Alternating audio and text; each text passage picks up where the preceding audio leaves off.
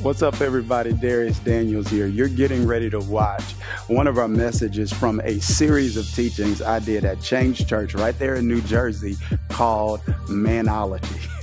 I hope it adds value to your life. You know, speaking of Change Church, we're expanding our borders. Not sure when you're watching this, but very soon we're going to be launching a campus in Orlando, Florida. If you know anyone, that wants to add value to this ministry and have this ministry add value to them, won't you have them email this address right here on the screens? We'd love to meet them and get to know them and partner with them and see what God's going to do, not just in New Jersey, but in Orlando.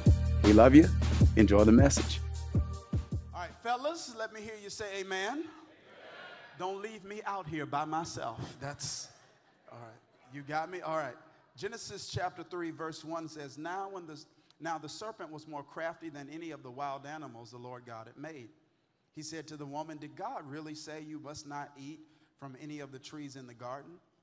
The woman said to the serpent, We may eat fruit from the trees in the garden, but God did say, You must not eat fruit from the tree that's in the middle of the garden, and you must not touch it, or you will die. You will not certainly die, the serpent said to the woman. For God knows that when you eat from it, your eyes will be open and you'll be like God, knowing good and evil.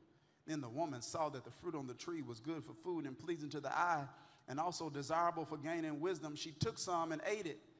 She also gave to her husband who was with her, and he ate it. Then the eyes of both of them were open, and they realized they were naked. So they sewed fig leaves together and made coverings for themselves. I want to talk from this subject today the mute man. The mute man. Ladies and gentlemen, I'm not sure, I'm not sure if you are aware, but the Bible clearly claims that we are engineered to excel.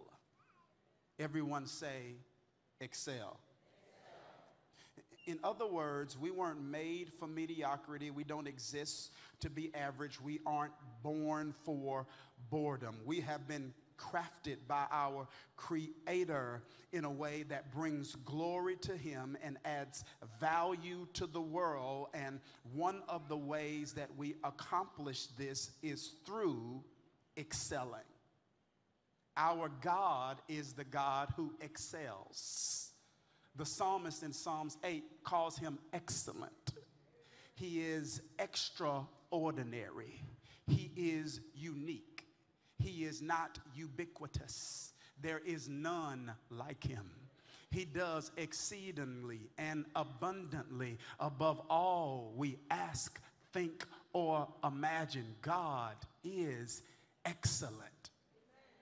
And this excellent God made us in his image and in his likeness. And this excellent God resides on the inside of us and empowers us to excel and to go to places of possibility that are beyond the limitations of our own capacity, and we are enabled and empowered to do and to experience what we could never experience on our own. We have been created, we exist to excel. However, it is also important to note here it is that one cannot excel in what they don't understand. Excelling requires understanding. To excel at sports, you must understand the sport. To excel at your work, you must understand the job. To excel in finances, you must understand your financial reality. To excel in relationships, you must understand the one you are relating to. And one of the wisest men who ever lived, a sage named Solomon, he uh, corroborates my claim. He agrees with this argument. He puts pen to paper. And in Proverbs chapter 4, verse number 7, Solomon says, The beginning of wisdom is this get wisdom.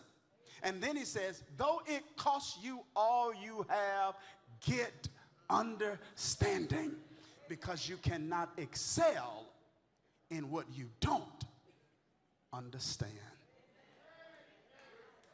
And if I had time, I'd pause for a minute and attempt to articulate how the enemy attempts to destroy and disrupt our lives by impacting our ability to acquire understanding. If he can keep you confused, he can keep you stuck. God is not the author of confusion. Are you hearing what I'm saying? So, and so there are a number of areas that we should all constantly seek to understand, specifically those that are essential and consequential to our lives. However, in this series, we are attempting to increase our understanding of men. You, you may have heard of the subjects of theology and biology and anthropology and sociology. But today, I want to add another discipline to that discipline of study. We need to explore manology. Because men need to be understood. In, in, my years of interaction with thousands of men, I have heard one pervasive consistency, and that is many men feel misunderstood. And a misunderstood man is an unheard man. And an unheard man is a man who doesn't feel listened to. And a man that doesn't feel listened to is a man that will eventually go mute.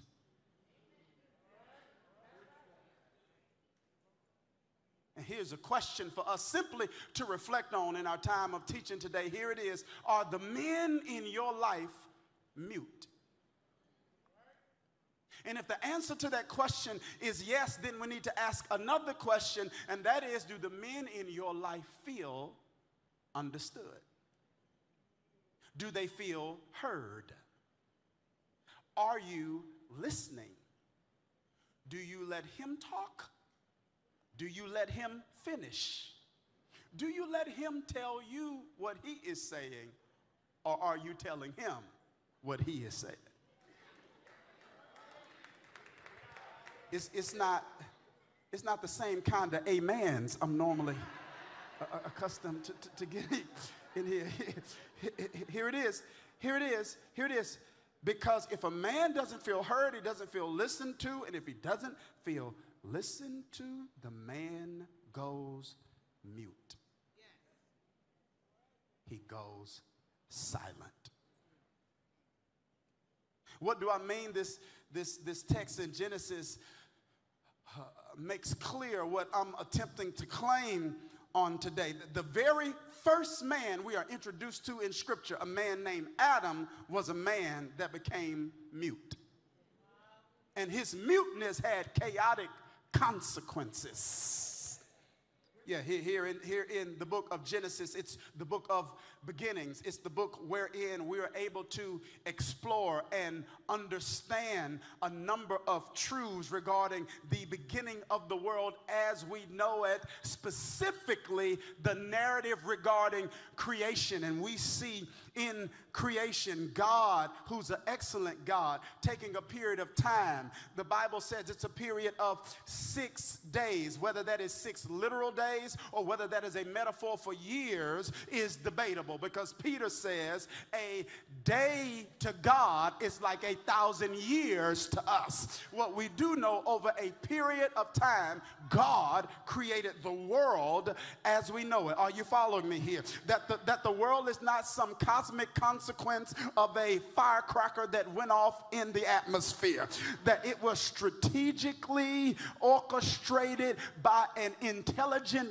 being that we know as God, who made sure that there was the appropriate ratio of oxygen to carbon dioxide in the atmosphere, who made sure that the sun was close enough to earth that we would receive its warmth, but far enough away that we would, ladies and gentlemen, not be burned up by its heat. It's a God who makes the rain descend, be absorbed by the ground, and then evaporate into the atmosphere. That is not a consequence of some random bang. That is a God who sits high and looks low.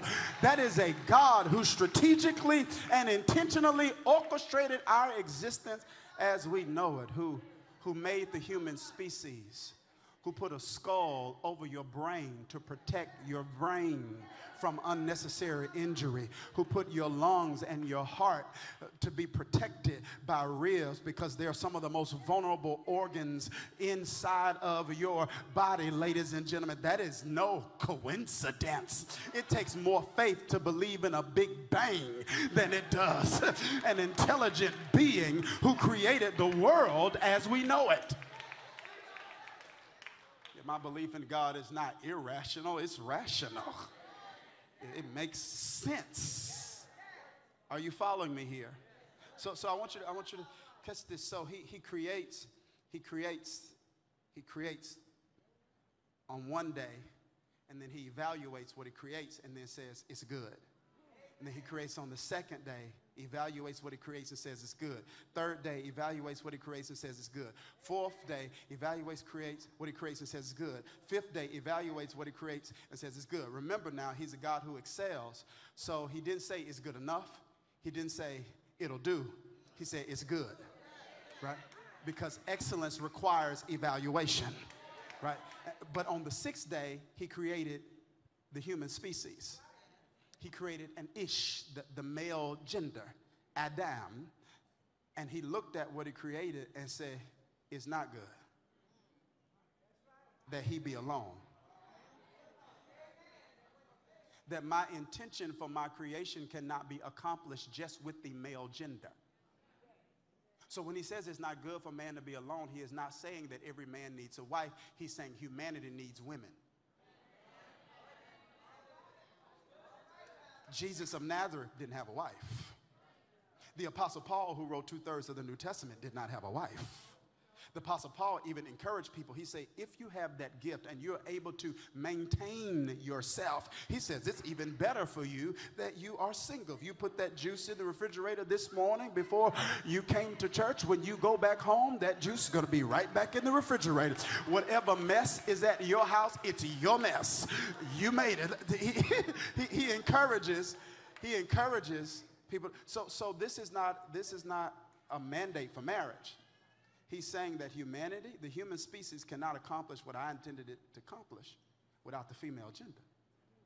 He says humanity needs women, boys need mothers, aunts, sisters, daughters, wives. And after creation, he, he gave Adam and Eve some instruction. He says, Everything in the garden you can eat from freely. They were placed in this garden, this place called Eden place of unbroken fellowship and communion with God. He says, You can have anything in this garden you want to eat except for that one tree in the middle. Don't touch that. He is teaching them to live as humans as He intended because you can't be, watch this, a fully functioning human without the ability to live with restraint.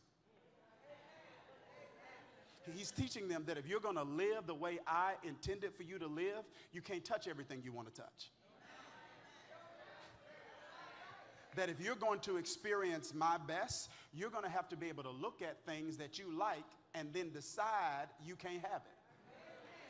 Be- because, watch this, because, because you can't experience God's best without freedom, and freedom is not revealed in your ability to say yes. Freedom is really revealed in your ability to say no, because if you can't say no, you're really not free.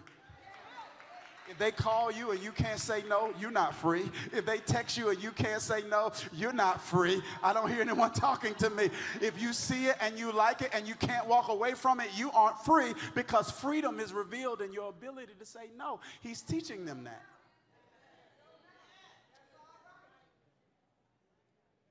But somehow, some way, Eve, the Isha, the woman, she's starts walking around the garden and she engages in the conversation with, a, with someone the Bible calls Satan, who's in the form of a serpent. Whether or not this is a literal snake is non consequential, it's inconsequential. The issue is this is the point. They were in a garden, they were in an outside environment, animals were all around. This is the point.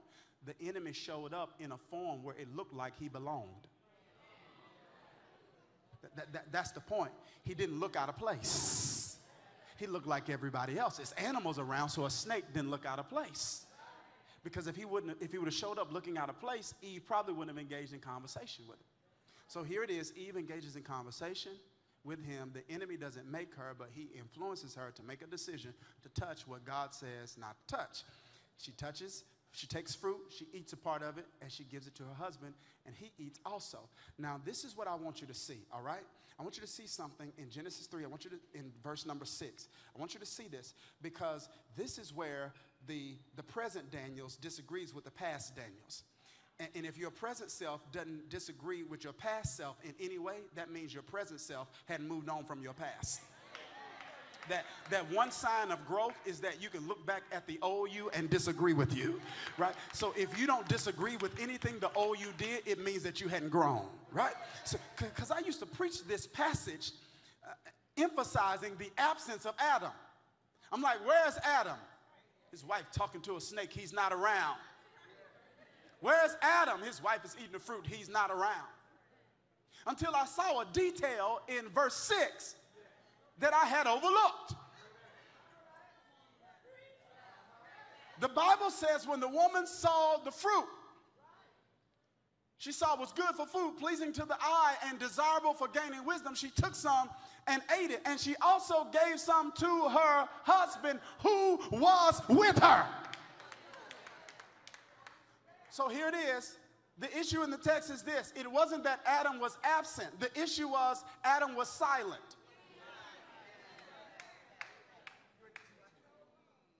Right? Because it's one thing for a man to be present, it's another thing for a man to be vocal.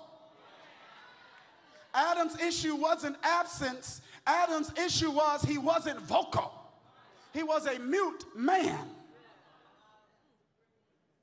But before we criticize him, I think we need to ask some questions. Before we insult him, I think we need to attempt to understand him. Ooh, I see some interesting faces right here. here it is. Why was he mute? Are we assuming that there was no attempt on Adam's part to talk Eve out of it? I don't know. The text doesn't say. So this is conjecture at best, but let me just throw out this holy hypothesis. Allow me to use my imagination to contemporize this conversation. If it was 2018 and Adam was sitting outside the Garden of Eden, I walk up to him and say, Man, what happened? He would say, Bro. Bruh, listen, I'm chilling in the garden. I'm just trying to watch the Cavs and the Warriors. That's Bro, that's all I'm doing. And Eve, you know, I got here before she did. Now she got here, she want to walk all around the garden. I'm tired. I just want to watch watch the game, but she wants to see the garden. So I'm gonna walk around the garden with her, right? Because I know if I can get this out the way, I can catch the second half of the game. So I'm just walking around the garden with her. She walking, she pointing out this. I don't care about the flowers, and she pointing out that. And she just walking around, bro. And then she started walking toward the tree. And I'm like, Eve.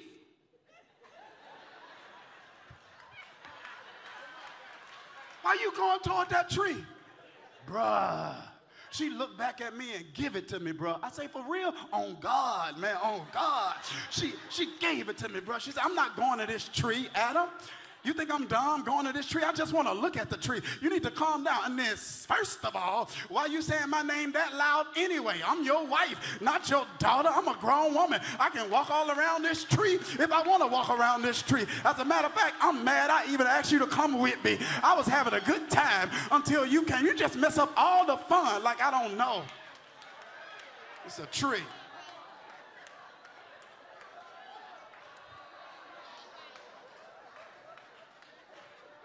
So she gets close to the tree. Then she starts having a conversation with a snake. And who knows? Maybe Adam said, I don't like you talking to that friend. I'm gonna give you a minute to get it because I don't think you did. She, she's talking to a snake. And who knows? Maybe Adam said, I don't like you talking to them. She messy. I don't like you talking to him. I know he say he your friend, but that's a man. And I know what he waiting on. He waiting on that one night you get mad at me. Yeah. Yeah, I, I, I, I don't like that. He gonna slide right in that inbox. He gonna slide right in them DMs. Y'all don't. That's my friend. He never tried nothing with me. Uh, all right. Who knows? Adam might, might have said, I don't, I don't, like you talking to that snake. That's a snake. I, I don't like the way you talk to me after you talk to her. Because you talk to me the way she talked to her man. I ain't him.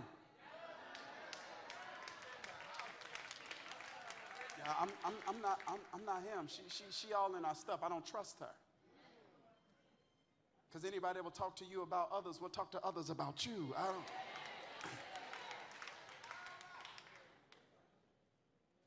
And some say, okay, bro, so I, I, I, get I get that, but she ate it first.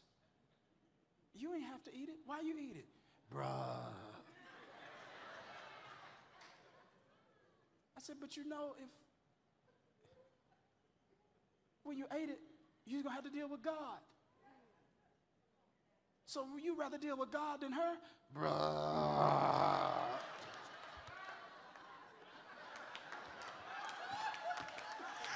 God casts cast things into the sea of forgiveness to remember it no more.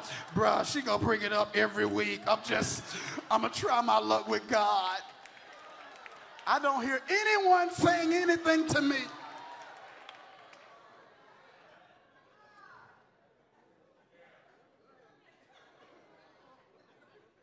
So Adam is muted. He's silent. And because he's silent, Eden is affected. Because he's silent, you and I are affected. Here it is. He says, uh, this, this is just hypothesis. Rather than deal with the ramifications of trying to confront this, I don't even have this in me, so I'm just going to eat it. Even though I know this isn't the best decision for our family, we probably shouldn't buy right now, but I'm just going to eat it. And I know we probably need to be a little more strict and a little more disciplined with our son because we're trying to prepare him to go out into a world that does not love him the way that we love him and who will not treat him the way that we treat him. And so we have to build a degree of resilience in him. And, and even though I know that's necessary for him because I'm a man and I know what it's like to navigate this world as a man, instead of dealing with everything I got to deal with to get that across, I'm just going to eat it.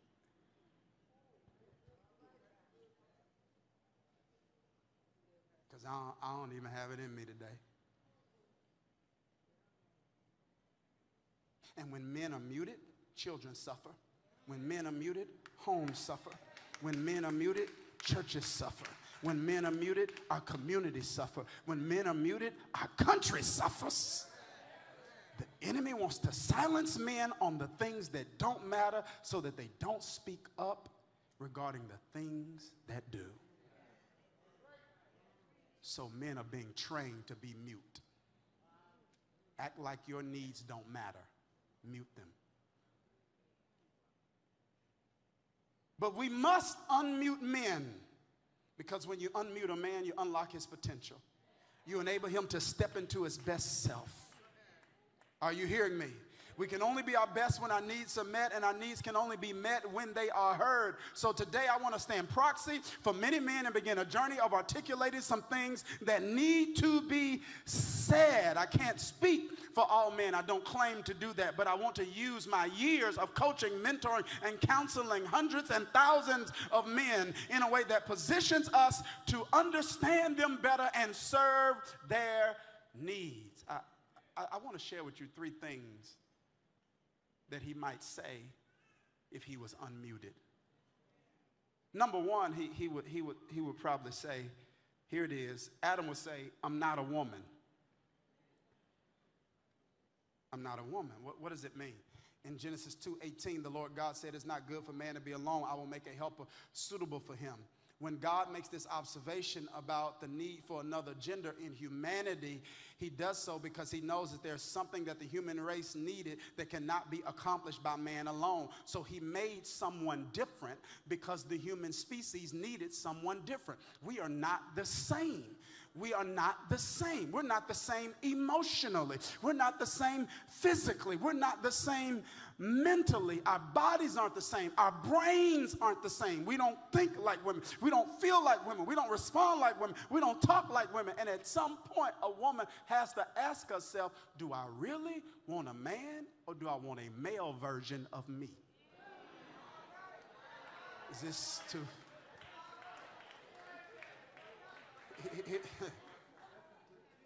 because because it's, un, it's one thing to a man the concept of us being different that's conceptually. But it's another thing to embrace that practically.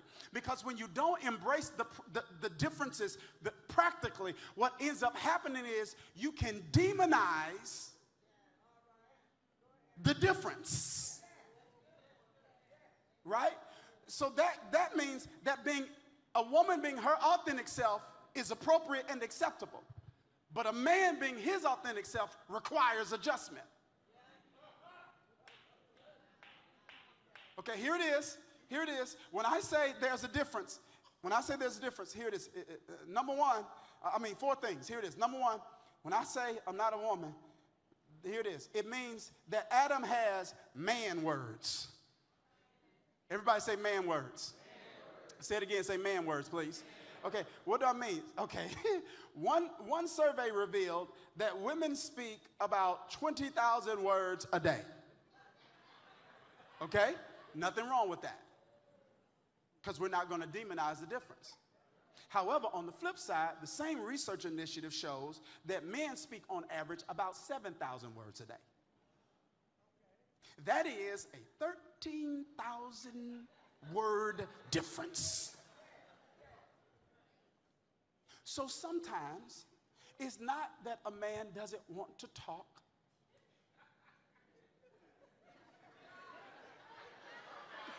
It's just, I've used up all my words. Are you hearing what I'm saying? Sometimes he just ran out of words.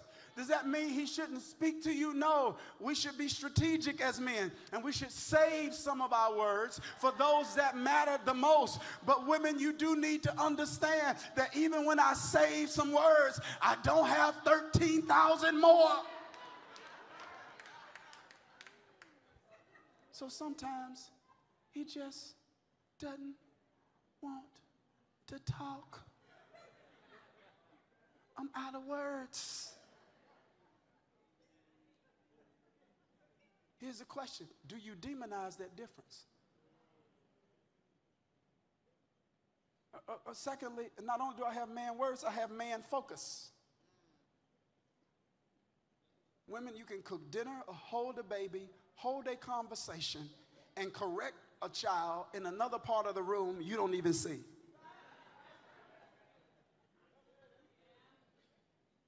Men,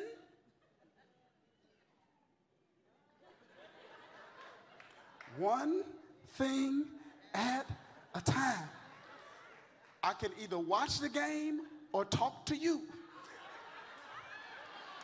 Fellas, y'all aren't. Fellas, you're not helping me.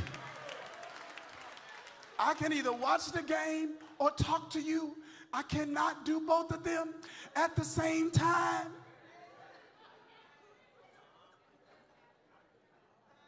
And when this difference is demonized, men feel the pressure to lie. And I'm just going to tell you, men lie. Because there are times you're talking and we're watching the game or listening to something. And then the only thing we hear is, Did you hear what I just said? And we say, Yes, of course I heard what you just said. We did hear you.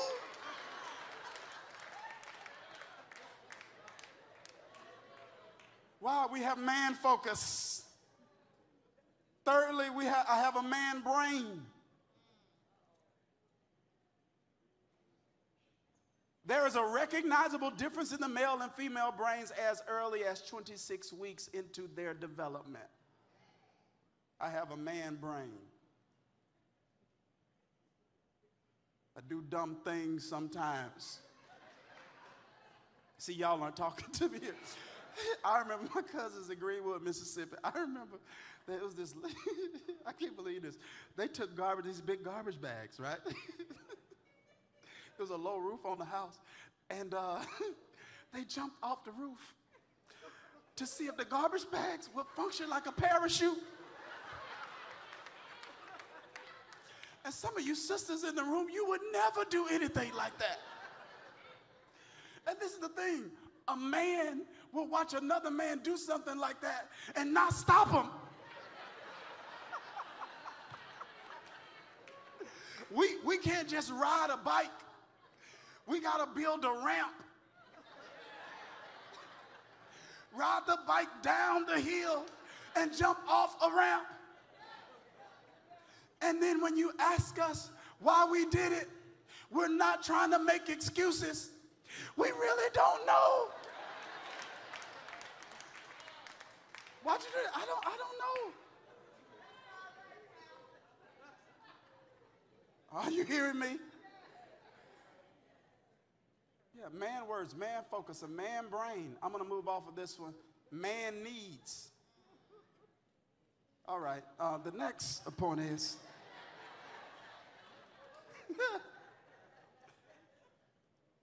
See, I'm not mentioning these things to make excuses. I'm not attempting to excuse any dysfunction.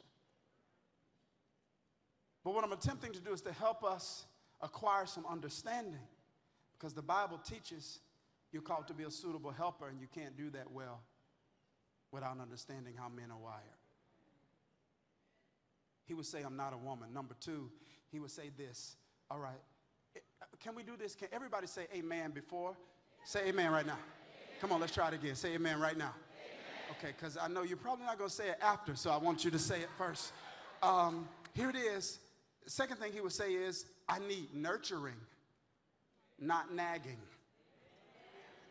Okay, so, so before we deny that we're naggers, let's at least have a come to a consensus on what nagging is.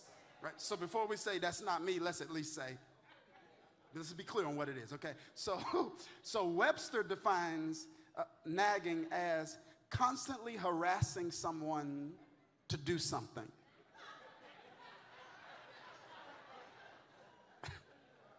nagging can come in the form of criticisms, comments, and questions. Listen to what Solomon says about it in Proverbs 25 24. He says, It's better to live on the corner of a roof than to share a house with a quarrelsome wife. You see, when there is nagging, the man's palace feels like a prison because the barrage of questions often makes him feel like he's under interrogation. Are you following me here? And sometimes, sometimes helping can even come off as nagging when it is done in an insensitive way. Why'd you do it that way? What were you thinking? Why'd you do? All you had to do was this, this, this, this, this, this. Well, sometimes what is heard, that's not what's meant, but sometimes what is heard is you're stupid. that you just made this much more complicated than it could have been, which may be true. But how can I speak that truth in love? How can I speak that same truth in a way that builds up and doesn't tear down? I hear you though, I hear you. Because some of you are saying, PD, sometimes it seems like the only way I can get through, the only way I can get through to him is by saying certain things a certain way. I understand. You may win the day during that but you lose the man. Here it is. Because just because he stayed doesn't mean he hadn't left. Because there are some men that are so committed to covenant, so committed to their kids, that they will stay. But in their heart, they've left. So, so at some point, you got to ask yourself do I want to win the task war and lose the man? Or do I want to find a way to nurture where I see those weaknesses, nurture them, to build them up, to come alongside them, to say, that's why I'm here. Did you hear me? to, to see, okay, you're lacking that, but that's why I'm here. That's why God gave you me for a mother. That, that, are you hearing me? That's why God gave you me for a spouse. That's why God gave you me for a daughter. That's why God gave you me for a sister because you're lacking that. And I'm going to come alongside and be a suitable helper. Because I want to nurture without nagging because I never want your palace to feel like a prison. And last but not least, can we say amen again? Y'all still love me? Okay. All right. Is it good we're telling the truth? Okay. All right. Last but not least, a mute man would say, I need appreciation, not just admiration. Admiration is what's felt, appreciation is what is expressed. And in Luke chapter 17, the Bible reveals something interesting. It says that when Jesus has this exchange and this encounter with healing 10 men who were lepers, one of the men came back to him and thanked him. This man was a Samaritan. And Jesus asked him, Were not all 10 cleansed? Where are the other nine? Has no one returned to give praise to God except this foreigner? Even Jesus says, Wait a minute. I want you to have a recognition of my contribution in your life to the degree that your appreciation for it expresses itself by saying thank you. So here it is, ladies and gentlemen. Is the problem list longer than the praise list?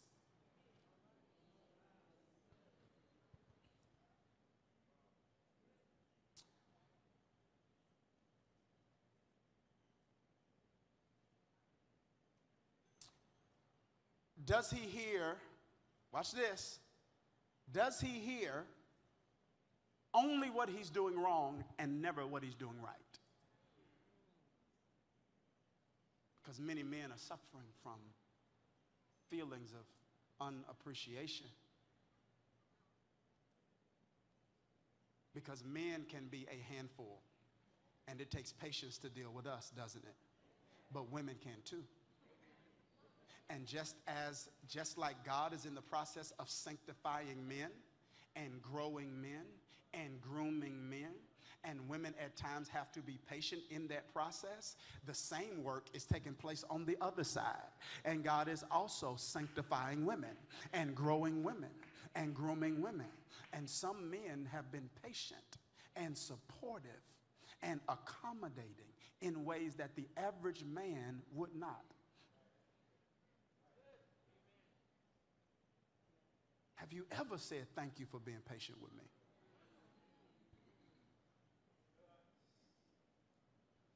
Have you ever said thank you for subjecting, subjecting yourself to a rigorous work schedule that I know is not in your best interest long term. You are in an environment that's hostile. You, you're being demeaned as a man. Yet, because of your commitment to provide for us in this family, you stick to it and stay with it.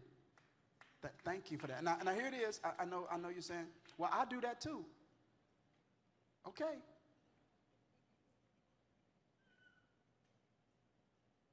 But it's okay to still say thank you. Here it is. Because men hang out where they're appreciated. I'm going to throw this out there and leave it alone. Even God shows up when you praise Him.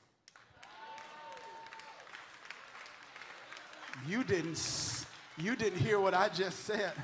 I said, even God shows up when you praise Him. Psalms 22 3 says, He inhabits the praises of Israel. And when we praise God, even God shows up. Do you hear me? I'm not a woman. I need nurturing, not nagging. Am I making sense to y'all? I need more than admiration, what we feel. I need appreciation. Some of you don't have a perfect man. You got a good man. You raised a good son. He ain't giving you no trouble. I mean, the worst you had to deal with is he don't take baths.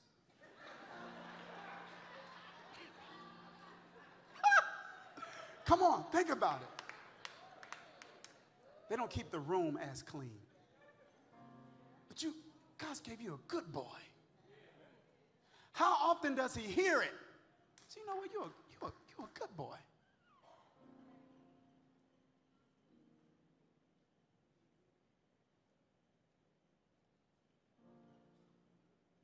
Appreciation.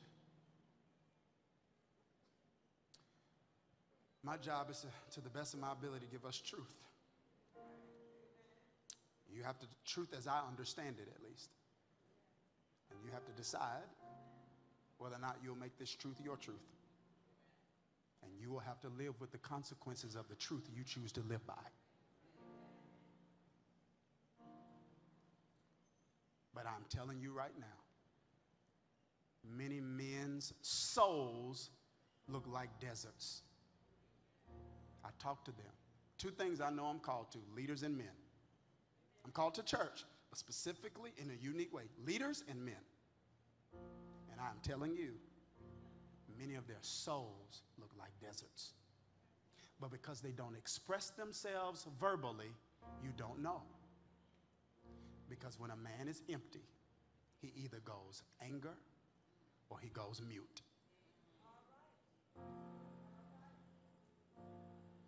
He goes silent.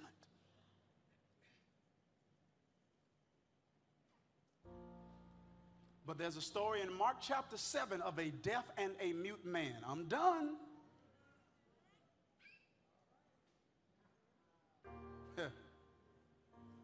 and his friends bring him to Jesus. Jesus puts his hand in his ear and opens up his ears. And when his ears were opened up, the Bible says his tongue was loosed. Because only Jesus can heal a mute man. So, brother, if you feel unheard, I said, if you feel unheard, if you feel unappreciated, if you feel like you're not properly valued and your needs are not considered, there's somebody you can run to who will quench the thirsting in your soul. There's someone who will speak over you. This is my beloved Son, in whom I am well pleased. His name is Jesus. If you're here today, I want you to know you don't have to die a mute man. When you can go to nobody else, run to him. Thanks so much for watching. I hope you were blessed and encouraged. I'm going to encourage you to press that subscribe button so that you always are notified when we're releasing new content. And if you want to give and be a blessing to the ministry, you can press the give button also. Take care. See you next time.